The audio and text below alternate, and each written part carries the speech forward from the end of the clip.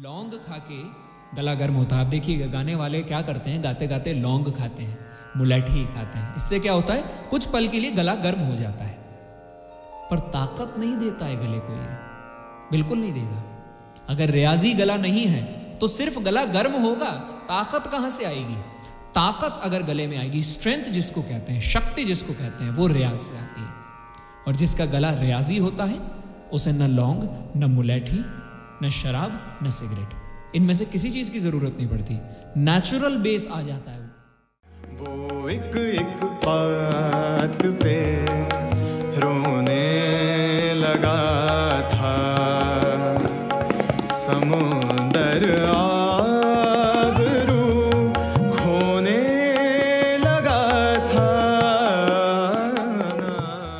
अब कुछ कुछ सवाल आ रहे हैं यहाँ पे सिगरेट पीने से। गले पर क्या फ़र्क पड़ता है? शराब या सिगरेट या मांस?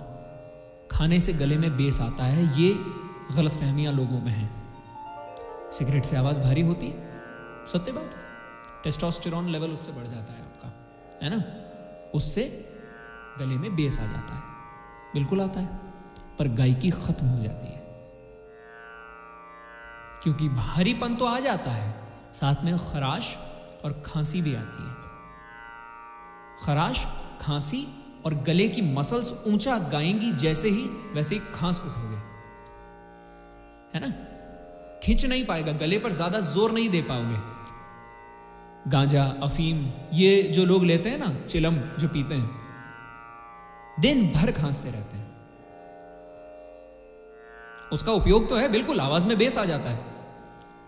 लेकिन गाने वाले हो ना तो गाने वाला बेस और नेचुरल बोलने वाला बेस ज़मीन आसमान का अंतर है उसमें है ना गले में गाने के लिए कैपेसिटी चाहिए अगर मैं गा रहा हूँ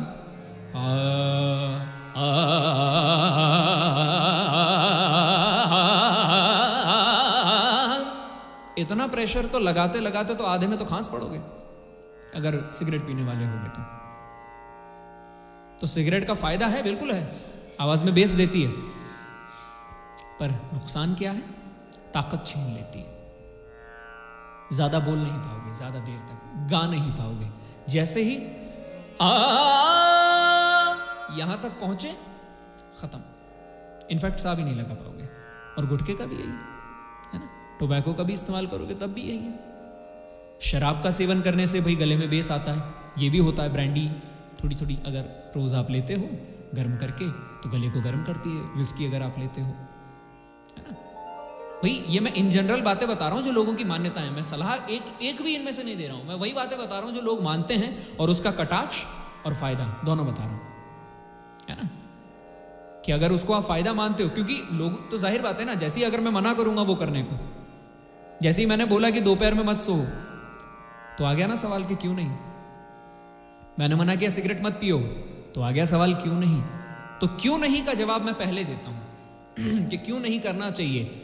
और उनके जो काउंटर आर्ग्यूमेंट्स हो सकते हैं ना इस इंसान के, ऐसे लोगों के, कि पर पीने से तो ये फ़ायदा होता है। उस काउंटर आर्ग्यूमेंट को भी मैं ही देता हूँ कि भाई लोग ये भी कहते हैं कि फ़ायदा होता है। तो उस फ़ायदे का नुकसान क्या होता है वो भी देख लो। है ना? तो वो चीज़ है।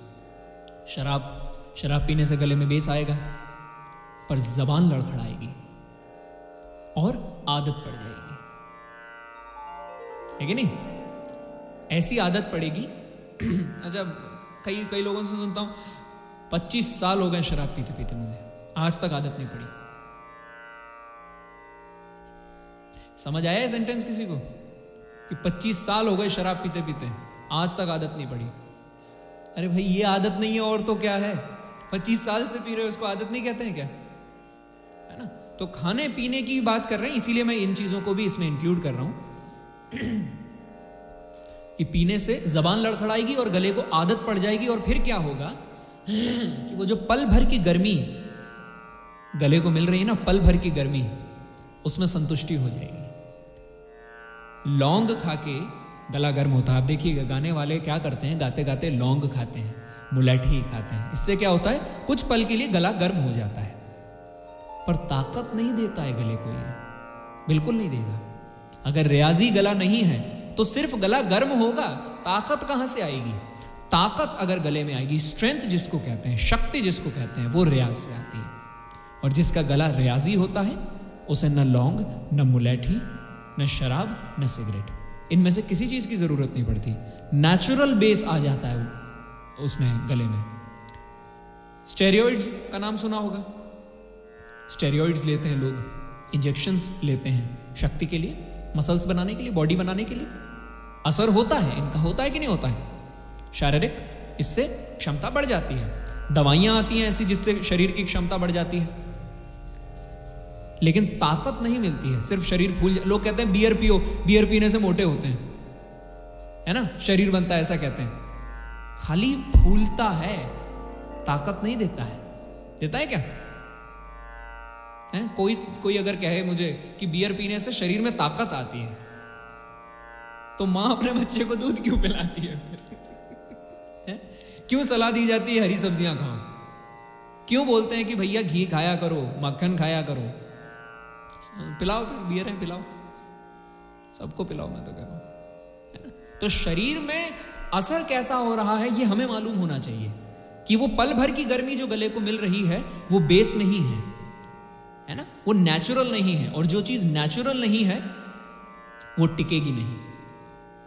शारीरिक हानि करेगी। स्टेरॉइड्स लेकर जो मसल्स बनाते हैं, जो दवाइयाँ खाकर जो मसल्स बनाते हैं, वो हानि करती हैं इन फ्यूचर शरीर में, है ना? दिक्कत आती कि नहीं आती? है जो जिम वगैरह जो जाते होंगे, उनको मालूम होगा ये चीज़। कि जो दवाइयाँ खा के बॉडी बनती है, और एक नेचुरल जो बॉडी बनती है, उसमें क्या फ़र्क है? अगर आपने दूध, मक्खन, घी इसका इस्तेमाल किया है है ना? रोज़ वर्जिश करी है, दंड बैठक लगाए हैं, ठीक है? तेल जो है वो अवॉइड किया है, क्योंकि कई ऑयल्स ऐसे हैं जो कोलेस्ट्रॉल को बढ़ा देते हैं, है ना? देखिए क्या होता है एक्सरसाइज का भी सिंगर से बहुत बड़ा लेना देना